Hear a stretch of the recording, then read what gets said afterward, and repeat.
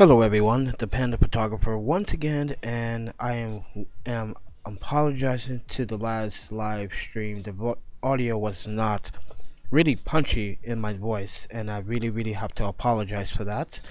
So if you don't mind, I'd like to have a redemption on part 4 of this Premiere Pro CC, how I edit my YouTube content videos, and go through the process once again. And uh, this is part 4 so if you are new to this channel please do subscribe if you like any of my content on this channel. And if you would like to hit that notification button to receive more notifications when I upload a video please do so and share the content as well. But don't forget to support the channels down in the descriptions below if you want to know more about this video, please read the descriptions. It tells you about the camera, the settings, and the lens, the Sigma 1835, and the feature product of this tutorial uh, tutorial is the Zomei Nurture Variable Density Filter.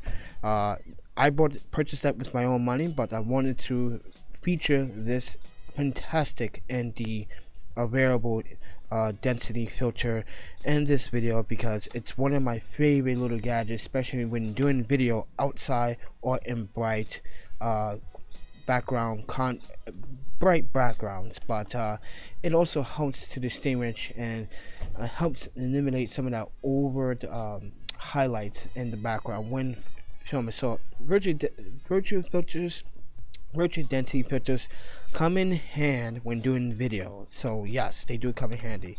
So if you guys are curious the camera that i'm using in this process is the sony alpha a77 mark ii it's a crop sensor to my sports and wildlife camera. Now i use it for video and it does have a good codec uh, not the best codec but it has a good codec. Um, and I'm shooting 1080p 60 frames per second.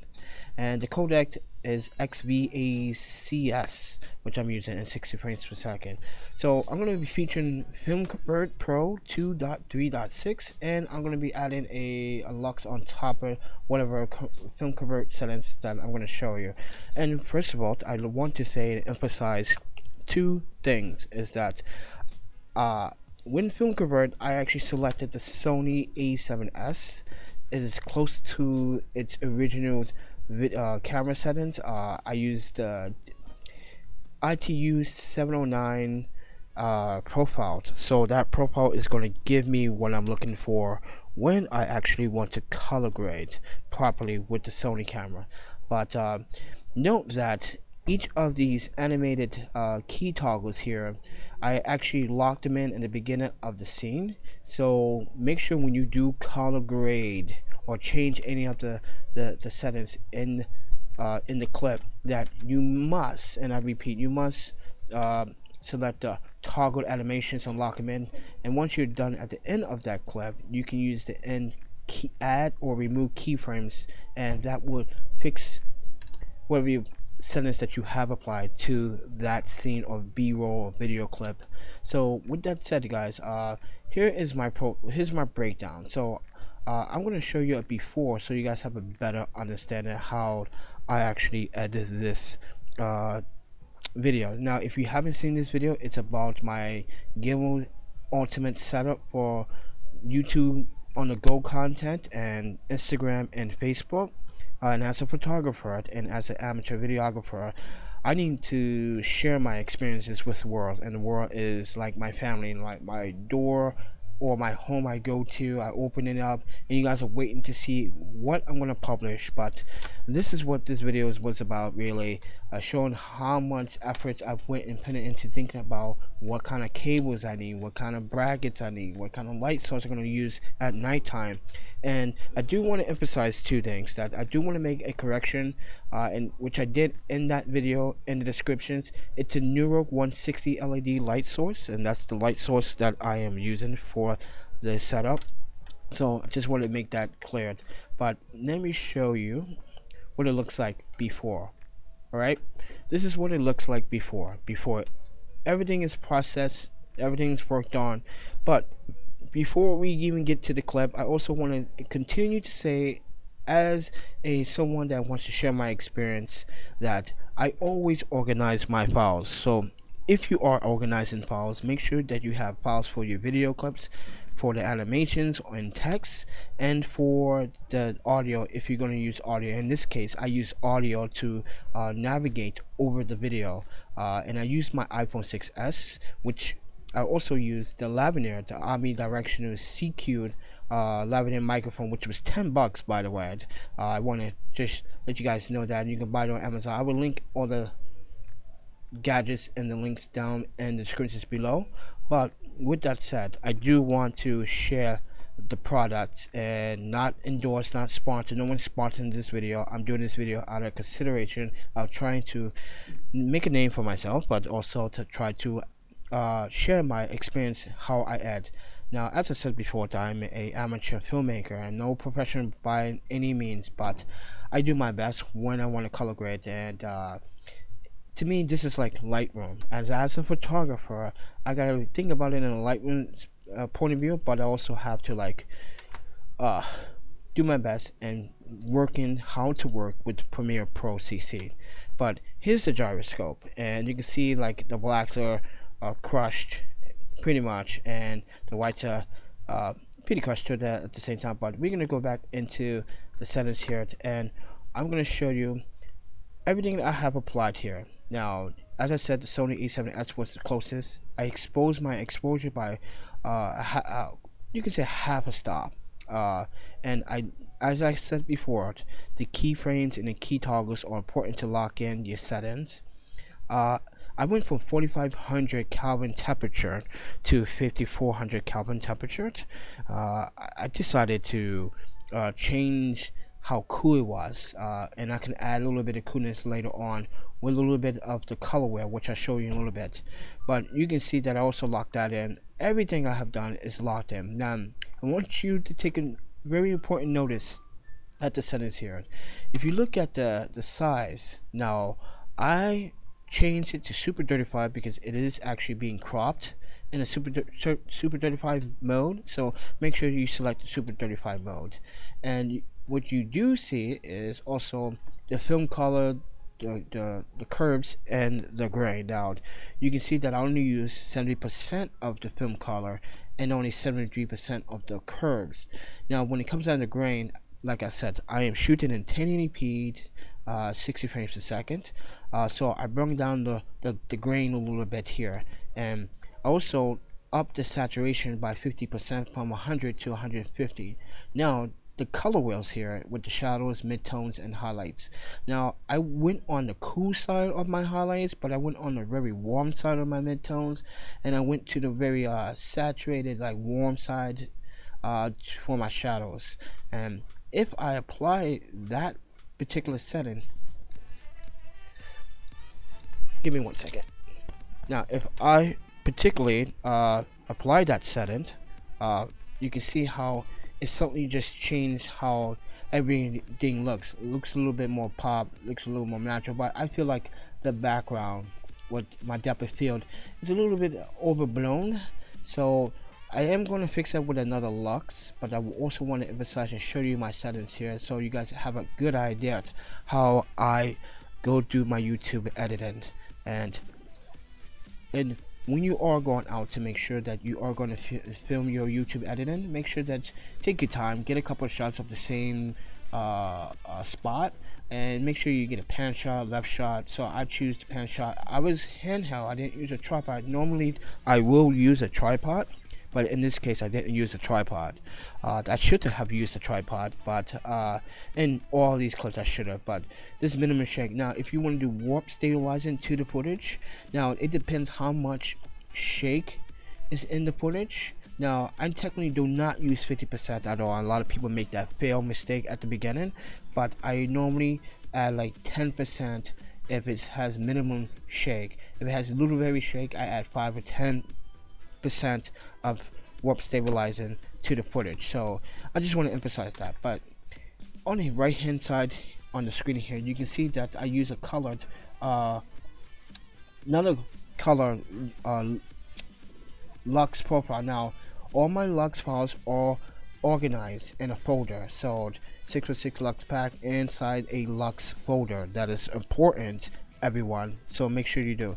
And uh, let me make sure that you guys are live so you guys can see.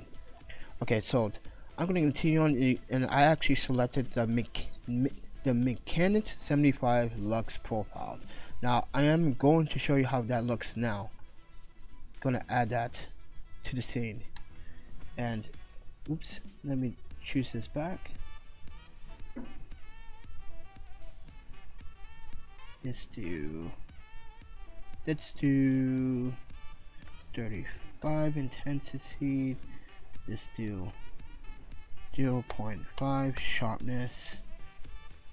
Let's do 35 on the vibrance and let's do 105 in the saturation since I already did the saturation part uh, but you can definitely see it here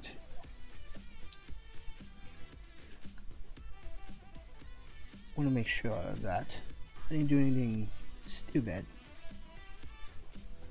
Okay. So here we are. Now there we go. I was trying to figure out what, what happened.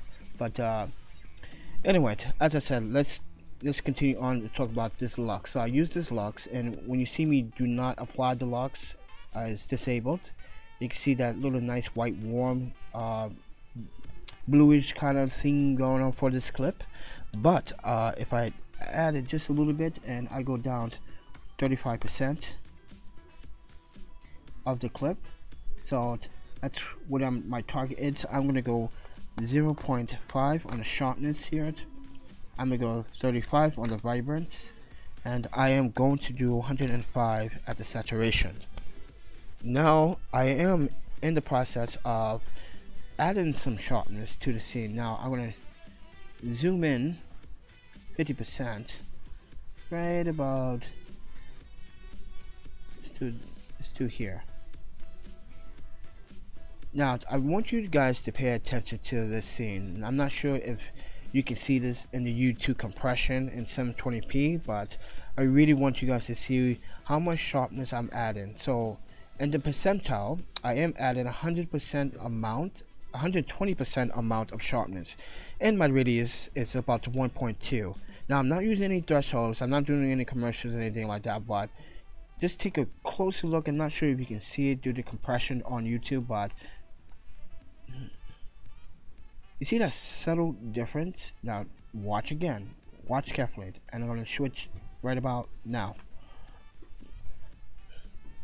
You see how the scene of the contrast areas got soft so what it does is the sharpness is actually trying to detect high, high contrast pixels within the clip and sharpen that clip. So if I sharpen it again one more time, you can see it. You see a big difference in the sharpness. Now, as I said before, I was handhelding this my camera the whole entire process and filming this, and I started filming at three o'clock. I was done at 45 minutes later about 3.45 i started editing. About 4 o'clock i was done by uh, uh, 5 minutes to 6 so and then once i was done editing and, and editing and then processing everything i was able to upload this video by 7 p.m. So gives you a good a, a, good time frame how I worked on the clip and everything. Now I did all my animations and all my text in Photoshop. So if you have animations, please organize them and put them in folders so you have easy access when you export them. I mean not export, but import them to Premiere on your projects. So, but also make sure that when you are doing your project on each clip, save the file or save the project each time. And I, I sometimes this may happen. Premiere does crash once in a blue moon. So to be cautious please save it every like three to five minutes when you're doing uh, uh, when you're making any changes because it, it does help to not redo the changes over again in that process. But as the panda photographer guys i really appreciate it that you tuned in to this uh, live uh, Premiere Pro CC tutorial. This is part 4. This is what I do on my YouTube content and stuff like that. But, uh, yeah. But anyways, let's continue on to talk about more of what I'm doing here. So, I use the color grading metric. I use my effects, so I go to each of the tabs. When it comes down to my audio, uh, I do add audio and I do put uh, effects like as you can see I did most of my over my audio I did most of my audio with this uh, iPhone 6s iPhone and what I did was basically to uh, added some noise reduction and added an EQ I'm sorry I'm getting like loud people over there. I'm, I'm adding some uh, EQ uh, noise compression. Uh, I added some uh, voice enhancer and a low pass filter. But anyway uh, I do want to share that and I want to sh show you also the colors here. Now on my gyroscope you can see from the same clip it's gotten much better and much improved. Uh, I can work a little bit with the gyroscope I gotta really learn how to like fix things in the gyroscope and make sure that everything is able to be you know as perfect. But you know as i grow on this channel it's important that you know trial and error criticism is part of uh, what gives you the flexibility and what gives you the strength to move on. Criticism is a good thing. It doesn't necessarily have to be a bad thing. And to me, criticism isn't just forcing you to be better at what you do. So keep that in mind. But but with that said, I do want to share and my experience with you guys with how I add everything and go through the process. Now, I am using uh, effects when adding my text or animations to fade them out and so forth and that is optional. You can do that in after effects. You can do that in premiere. Premiere has a few but in after effects you might want to consider doing it in after effects. But with that said everyone so this has been a quick tutorial on how I add everything and how I process the files as I go along and when I come down to my music choice I just pick music and I turn down the volume on each one so I, I normally go particularly by negative 30 to negative 30 negative 40 but it depends on the scene depends on the voice um, but it also depends on what I'm doing. So if I want to don't have a voiceover, I increase the volume. So and what I do is I merely add them in here and the volume controls, which is the audio. So definitely would do it in audio. Uh, so you go into audio track, you can do everything in the audio. Make sure that you do everything accordingly as as, as you should, and make sure that. Uh, always recheck your work and make sure that you don't do any mistakes and sometimes that happens and mistakes do happen in videos and no one's perfect but that's the way how to proceed with this so uh, my lux package is not available but you can probably buy some lux if you choose to buy them uh, i know they serve them in packs and what for but uh, they are free lux but uh, if you want some of the lux that i use i have a ton of them but uh, maybe I post them in the links below so you guys can have an access way to download them from my Dropbox. But uh, I do want to emphasize the computer that I'm using. I am using a dual core CPU. This is about three years old. My original laptop is the same model, but with a V, which is U2442V. That one had a quad core that was stolen uh, about six months ago. And I picked this one up, and this had a quad core. It had a GPU, so a 640 dual core. But here's the thing I am using SSDs in this process. SSD, to me, the read and writes is much faster. I can get my work done much quicker if this also had a quad core. So I'm pretty sure I can cut down my rendering and my exporting times by a few minutes. I'm pretty sure, but right now I have to deal with this laptop, which is getting old. It's about three years old. It actually is three years old. It's a three-year-old laptop I'm trying to upgrade, trying to save money up. If you guys want to help contribute to that, hit the PayPal donation button down in the descriptions below. It really helps me out to actually get what I need to make more content like this in an official state. Uh, I think a newer laptop with up-to-date specs would definitely have a different experience when it comes down to uh, editing and uh, viewing my files without any lag and that's what I get sometimes on this laptop is a lag issue so but on top of that, it's also Windows 10. Always want to update something, change something in my system. I can't even update the video card drivers, which is unfortunate. But uh, and right now I'm using all SSDs. I got an M SATA SSD and I got two regular SSDs. Now I do use mechanical hard drives to store data on them, just data. I don't use them to run. I just store the data on them. I do. My parents do have a server data that we have. I log into that, and sometimes it takes me like three to five hours to process every one of those files to the server. I log into that server manually. Uh, I make sure that I use all security measures here. I use uh, CyberGhost so no one knows the IP address of that. Yeah, I use other apps, but that's a different video, different topic for another discussion. But I just want to emphasize that I use SSDs.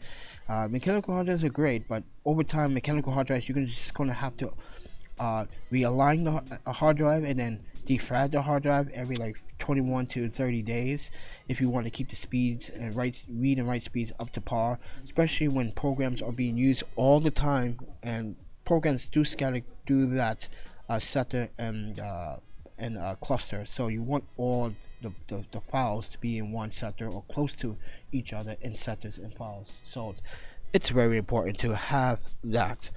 But with that said uh, yeah so over here you can see everything that I exported in colors. So I do label them in colors based on so I know that the green is the footage uh, actually it's the the audio and the in the is that uh, uh, Quaqua blue is my video footage files and my purples or just like uh, text and animation and stuff like that. So I do colorize them as I go and do that so you have an easier workflow. So that's my just my opinion. Now if you're going to add graphics to any of the footage you can't do that. That's why I get to when it gets to graphic it turns into the purple. So that's that's a good thing. And for me for the audio it goes into the green. And for editing it goes into should be able to go into like this section here but I need to reprogram the Premiere to also do that for me on the manually but now, when it comes down to music choice, I use non-copyright material music all the time. You can download some, you can buy some, you can be a uh, subscribe to a uh, membership to get unlimited access to uh, music files if you choose to. It's based on options, but don't try to use uh, co uh, already copyrighted material. Use non-copyrighted material so you can use it for your content. So with that said, as the panda photographer, I just want to emphasize and show you guys how I edit with all the video clips and my editing process. And film convert is a very good tool to use. I recommend it. I'm not sponsored by uh, film convert but i do recommend film convert if you are learning how to do color grading and you want to use lux so with that said uh, with that said uh, basically that's the end of it and please do subscribe to the channel and please do hit the notification button. It really helps me out there guys and support the links down in the descriptions below. But if you find this very informative please do uh, hit the uh, hit the paypal button to help me out. And with that said eat sleep photography videography and audio file and repeat. And i will see you guys in the next video take care. If there's anything that i have missed in this video please let me know down in the comments down below. Peace take care. Peace out